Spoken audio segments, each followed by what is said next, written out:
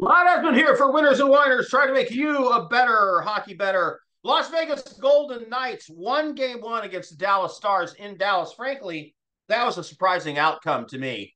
Uh, I am a Dallas, I, I am a uh, Golden Knights fan, and I did not see the Golden Knights winning that opening game.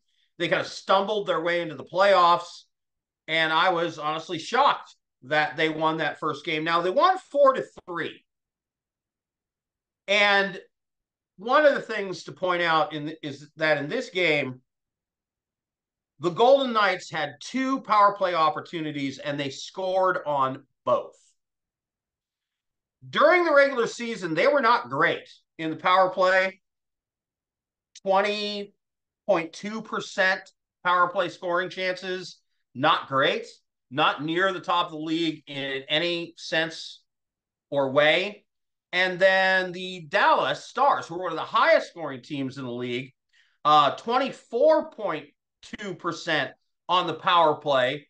They had two power play chances in the game and didn't score on either. They score on one of those two different game entirely. They score on both, they win. So, yeah, Dallas at home again. If Dallas doesn't win, the next game at home, they are in deep, deep trouble.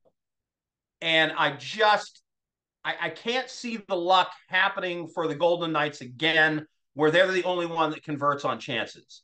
So I'm going to go Dallas Stars, puck line, minus 140, minus 141. Around that is what I'm seeing right now.